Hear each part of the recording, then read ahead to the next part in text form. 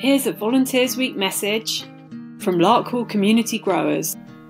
On behalf of the board, the staff members, Larkhall Community Growers would love to say a huge thank you to all our volunteers who make this garden possible.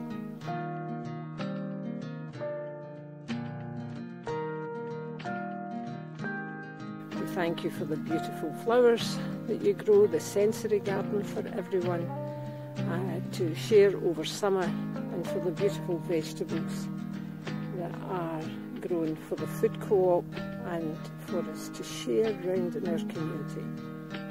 Thank you so much. You are so valued.